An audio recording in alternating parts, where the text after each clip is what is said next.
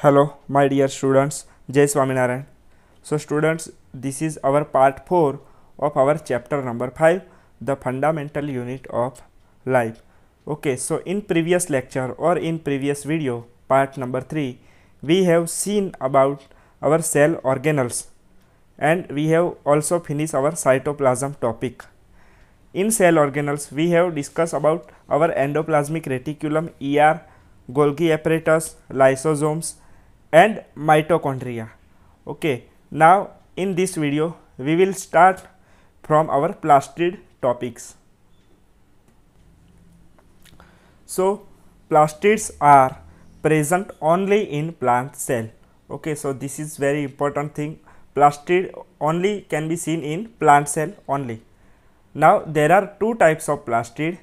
Chromoplast, it meaning colored plastid which have color, and another is leucoplast which has not color uh, or which has white color or they are colorless plastids. Okay, so keep in mind this thing. Plastid are two types, chromo and leuco. Now chromo meaning color and leuco meaning colorless. Now chromoplast containing the pigment chlorophyll are known as chloroplast. Okay. Now in the chromoplast, chromoplast meaning colored plastid and they contain chlorophyll okay which has green color. Chlorophyll will give the green color to the plant. Okay. So that's why plants are green because of this chlorophyll and chlorophyll is chromoplast is present in chromoplast and called as chloroplast. So, chloroplasts are important for the photosynthesis in the plants as we have already discussed about photosynthesis. Okay. So, photosynthesis is very important for the plant because energy is generated during this photosynthesis and plant will take that energy from sunlight. Okay. So, this is why this is about photosynthesis. Now, chloroplasts are also contain various yellow or orange pigments in addition to chlorophyll. Chloroplast have uh, yellow color also and orange color also. As we know there are some fruits, fruits flowers are there orange, yellow, blue, different different colors of flowers are there, different color of fruits are there. So, this is because the uh, pigments color pigments are there that is why. So, chloroplast have yellow and orange color also.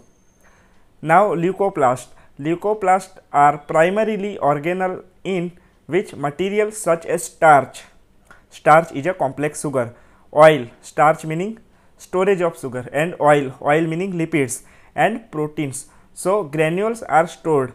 So, starch, oils and protein and granules are stored in leucoplast. So, this is the important of leukocytes, okay, leucoplast sorry.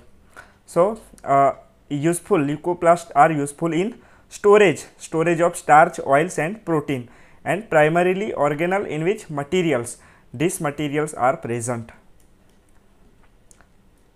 Now, the internal organization of chloroplast consists of numerous membrane layers embedded in the material called as stroma.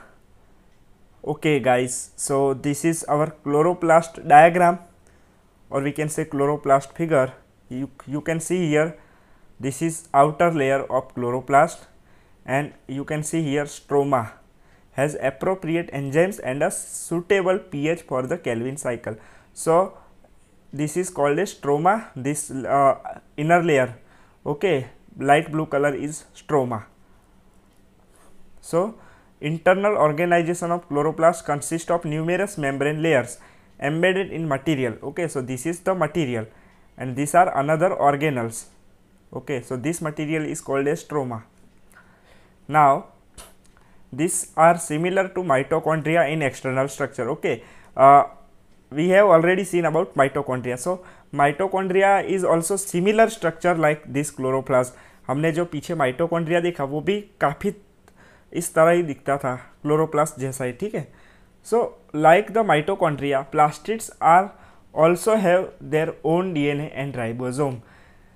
As we know, mitochondria has its own DNA and ribosomes. Similarly, chloroplast also contain the own DNA. DNA meaning inheritance material.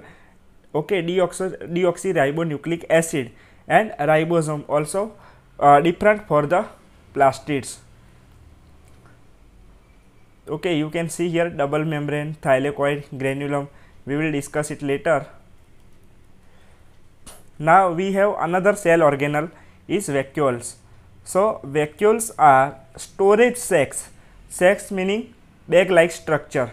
Sac meaning bag like structure for the solid or liquid content. So vacuole will be contain the solid or liquid content. Vacuoles are small size in animal cells while plant cells have the very large vacuole. Okay this is the difference in size between animal cell and plant cell. So small size we can see in animal cells but large size we can see in plant cells. The central vacuole of some plant cells may occupy 50 to 90 percent of the cell volume. You can think about it uh, how big is vacuole in the plant cell. Okay, we, it will occupy 50 to 90 percent आधे से ज़्यादा of the cell volume. In plant cell vacuoles are full of cell sap and provide the turgidity and rigidity to the cell okay so for making the whole uh, structure of cell for maintain to maintaining the structure of cell it is very important vacuole because it it will are full of shape cell sap and provide the turgidity. Okay turgidity meaning to strengthening strengthening the cell wall and give will give the rigidity. Okay that's why. So very important vacuoles are. Now many substances of importance in the life of plant cell are stored in the vacuoles. Many substances okay as uh, we have already seen the storage uh, is 50 to 90 percent of size larger size. So that's why the storage also is there and many substances are stored in vacuoles. This include the amino acid okay. Now which type of substances okay. So amino acids. Amino acids are the building blocks of protein. Sugars okay like glucose and various organic acid and some proteins also the uh, substances for uh, stored in the vacuoles. Okay so these are all things keep in mind. Amino acids sugar various organic acid and some proteins are stored in this vacuole of the plant cell. In single celled organism for example amoeba. Okay amoeba is a unicellular organism. The food vacuole contains the food items that the amoeba has consumed. Amoeba has already consumed food that will that will be stored in this vacuole.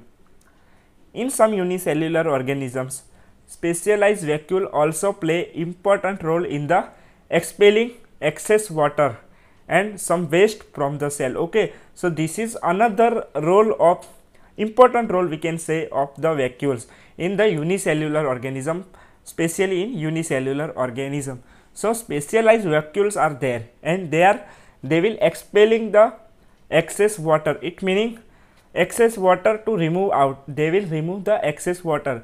They don't require water uh, in more amount. So the excess water will be removed out and some waste also waste material of the cell also will be removed out. Now, each cell thus acquires its structure and ability to function because of the organization of its membrane and organelles in specific way. Okay, so uh, this is uh, important for the cell to acquire its structure, it meaning to maintain their structure and ability to function because the cell is a fundamental unit of life. So, that is why the function is very specific and very important for the life of its membrane and also organization of its membrane and organelles in specific way. So, the cell thus has a basic structural organization. As we have already discussed all the things about cell okay so cell has basic structural organization. Fundamental that's why we are we are saying it fundamental structure okay. This helps the cell to perform the function like respiration obtaining nutrition and clearing the waste material of the cell or forming the new proteins. So these all are the basic functions fundamental functions are the cell. Perform the function like respiration okay? Respiration meaning exchanging of oxygen and dioxide carbon dioxide and obtaining nutrition also in the form of glucose for example and clearing of waste material. Waste material like urine okay in the humans or the forming new proteins okay? So new protein are we already discussed about our uh, dna and uh, new protein are forming okay? So there are different different organelles for different function okay? So thus the cell is the fundamental structural unit of living organism okay? That's why here the conclusion here the ending of chapter the fundamental structural unit of living organism is the cell it is also the basic functional unit. Functional unit because they perform the function all the body. Okay function for all of the body and fundamental structural because the body the body is made up of cell. That's why uh, uh, there are different different compartments in higher animals in higher plants. Tissue are there. Okay so tissues are made up of cells. That's why the cells are the fundamental structure okay, छोटे से छोटा unit है हमारे शरीर का, क्योंकि cell ज़्यादा इकट्ठे होंगे तो ही पूरा शरीर हमारा बनेगा।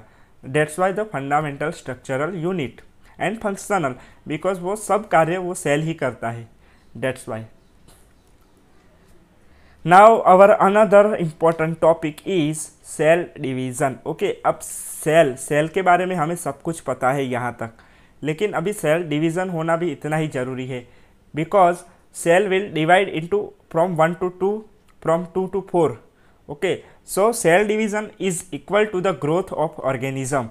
Reproduction of organism also occur in some organisms uh, due to the cell division. Okay. So the growth of life is fully depend on cell division.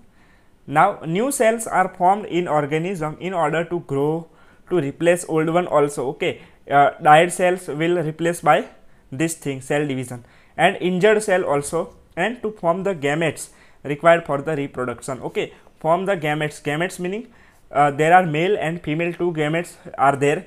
So they will require for the reproduction. Reproduction meaning to produce the new progeny new offspring of similar to their parents. Okay we will discuss it later. Reproduction. So these are the uh, some features why cell division is required. Because to grow to replace old one dead and injured cells and form the gametes. Now, the process by which new cells are made is called as cell division. Okay. So, cell division is we can say this uh, like uh, uh, the forming factory manufacturing of the cells we can say factory like structure. Okay. So, the this process of forming new cell is called as cell division. Okay. Division meaning from 1 to 2 from 2 to 4 there are two main types of cell division. Keep in mind very important thing. There are mainly two types of cell division. Uh, i mean the cell division occurs in two ways mitosis and meiosis. Okay keep in mind this thing mitosis m i t o s i s mitosis and m e i o s i s meiosis. This is called as meiosis.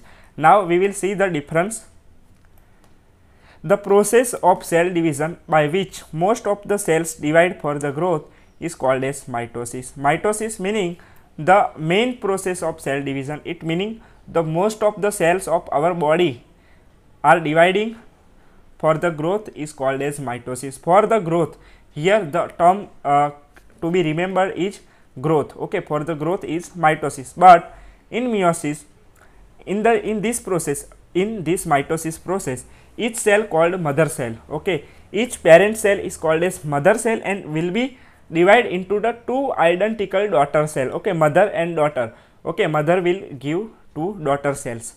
Now the daughter cells have the same number of chromosome as the mother cell okay? As we know chromosome what is chromosome? We have earlier discussed about chromosome. Now the dna content our chromosome contain the all the dna of the body okay so dna is as we know is a inheritance material so chromosome is very important. So chromosome is contained in our nucleus of the cell.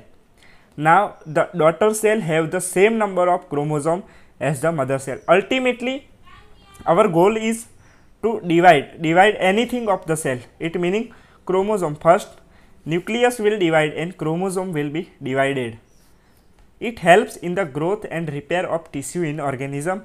Our ultimate goal is to growth and replace replace in the form of repairing the old tissues okay in the organisms. So this is the mitosis. These are chromosomes two blue number two blue and two number of red okay. So you can see here two pairs of chromosome here and finally they divide into two daughter cell. This is mother cell this is daughter cells. Okay? You can see.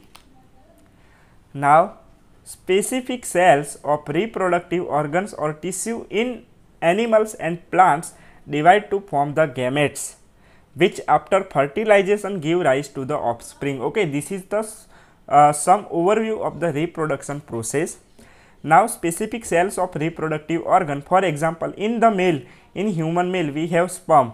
Sperm is a reproductive uh, structure is there and cell. We can say the cell sperm is a cell.